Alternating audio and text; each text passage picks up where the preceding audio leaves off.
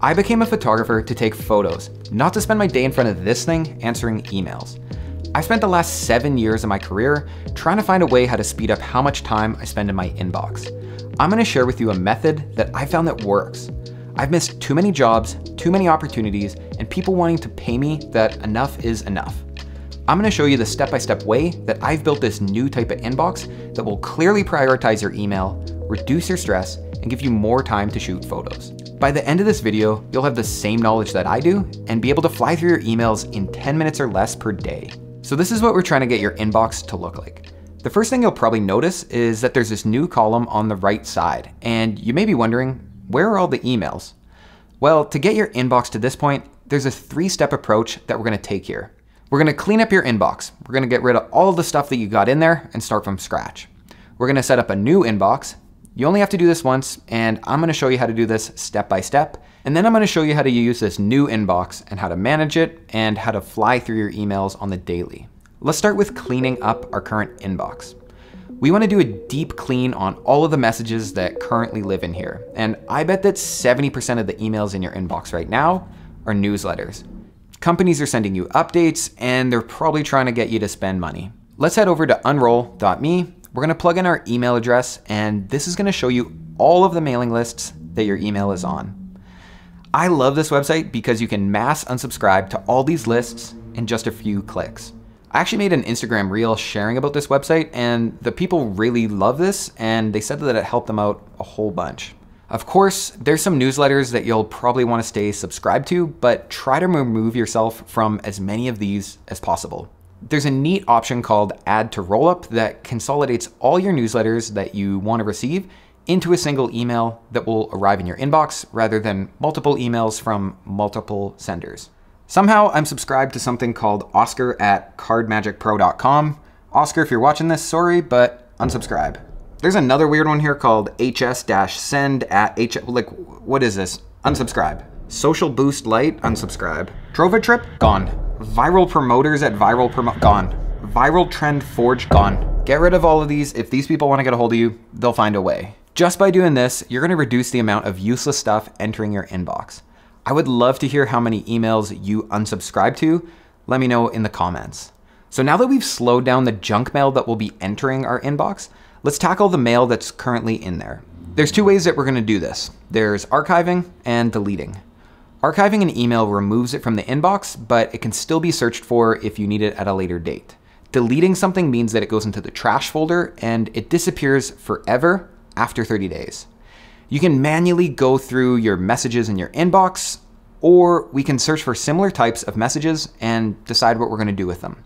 Here's a couple search terms that we can type into the search bar to quickly find all the emails that apply with that filter. And you can decide if you want to keep them, archive them, or delete them.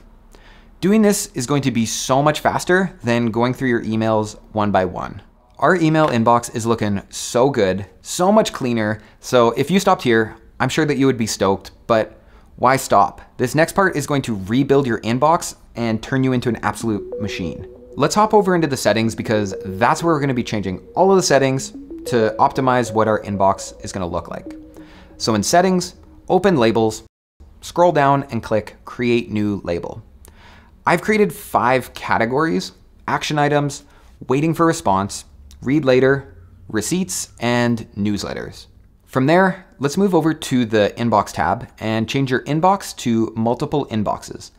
This tells Gmail that we want to use our normal inbox, but we add those new columns on the right-hand side. Below that, in the multiple inbox sections, we add the names of the labels that we just created. So type in L colon and then action items with a dash in between the words.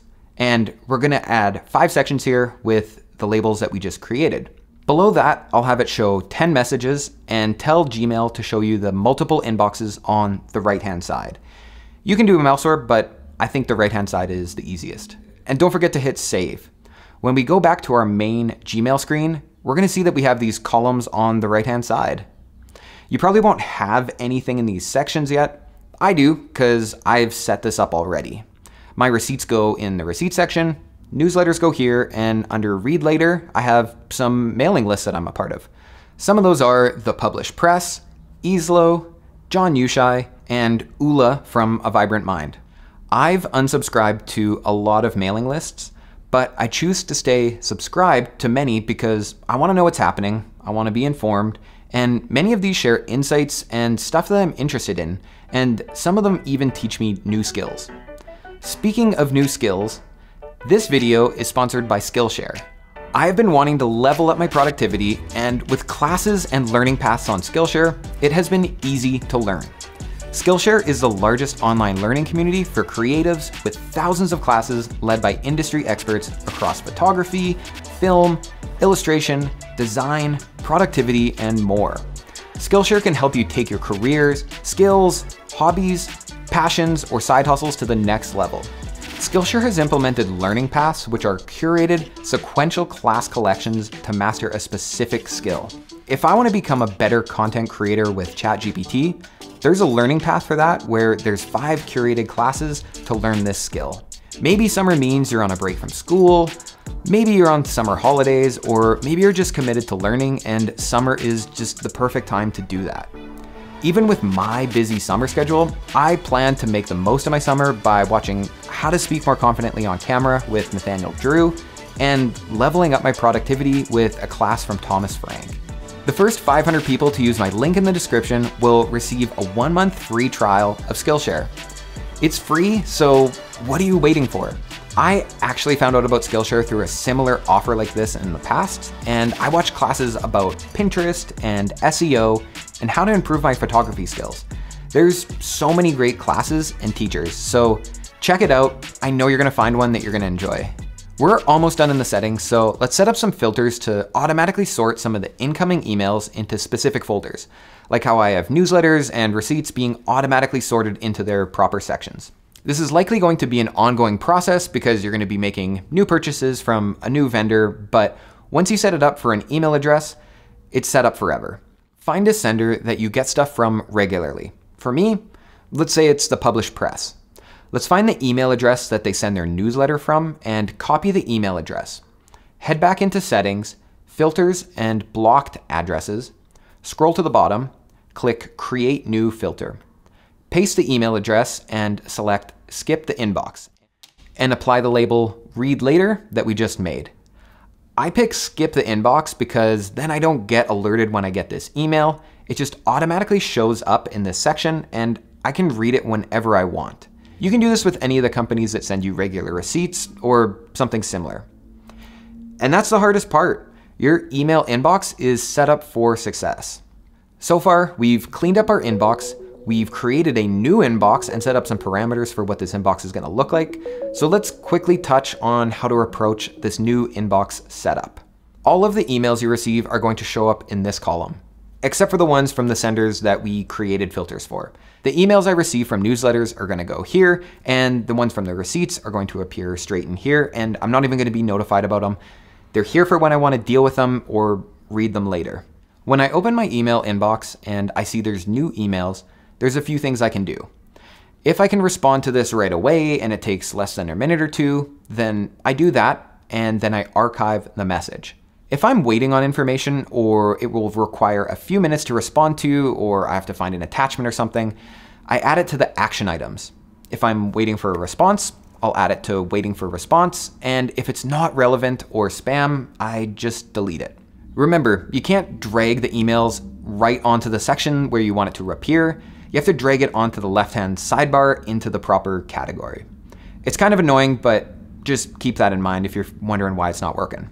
Sometimes I get emails that are not relevant for right now or are date specific, like tickets for an event, and I don't want those to sit in my inbox, and I may miss them if I add them to a different category. So when I get emails like this, I snooze them for a later date, like the morning of that event.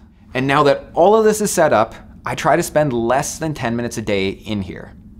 I'm a creative person and being in my inbox does not get me excited. I want to hold a camera or have some great conversations.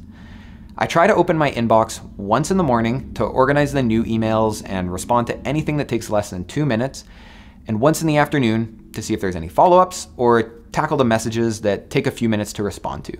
The key to making this thing work is getting into the habit of archiving or deleting emails once they're no longer needed or snoozing them until you do need them. I find having more than one page of emails is overwhelming, and I don't even know where to begin. So I try to keep this section clear and categorize my messages into a section that tells me what to do with that message. This email system has saved me hours and hours of time to help me prioritize my inbox, reduce my stress, and help me not miss the important emails from potential clients. I may have missed some stuff in this video, so if you have any questions, please let me know in the comments and I'll do my best to help you.